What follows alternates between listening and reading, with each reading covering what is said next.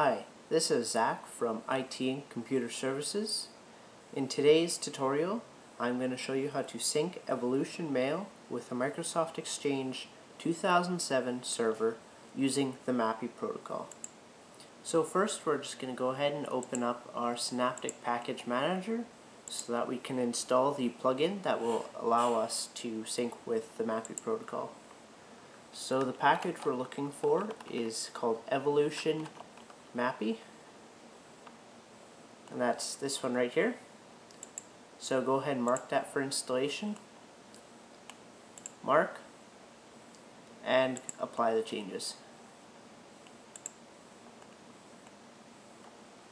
Now that the installation is complete, simply close the Synaptic Package Manager. Go ahead and click Applications, Internet, Evolution Mail. Since this is our first run, this screen pops up. Go ahead and click Forward. We don't need to restore from a backup, so click Forward again. Type in the full name and the email address. So we test, and our email address is test at dirtandgas.com. Click forward. Change the server type to Exchange MAPI. The server name, for us, that's simply server. The username, so for us that's test, and the domain name. So that'd be dirt and gas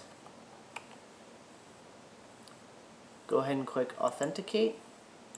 Type in your password, and this is the Active Directory password.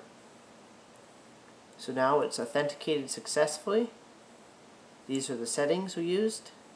We can go ahead and click OK. Forward.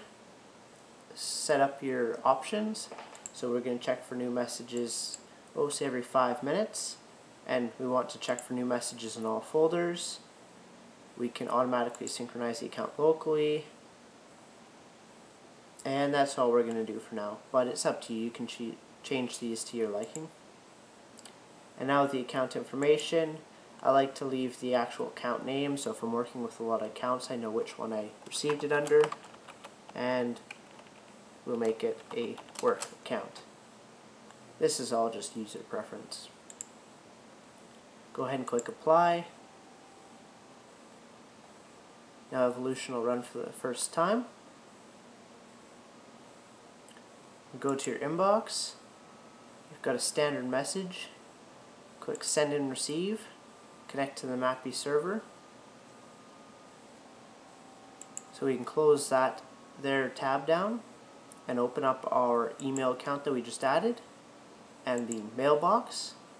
If we go to the inbox, these here are the emails that we have received If you go down to calendars, that will also be synchronized with your account, as is contacts.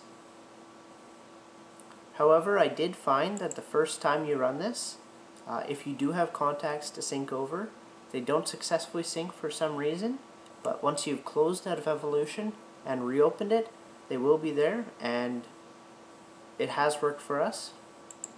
So that's about all there is to setting up Evolution to use a Microsoft Exchange 2007 server.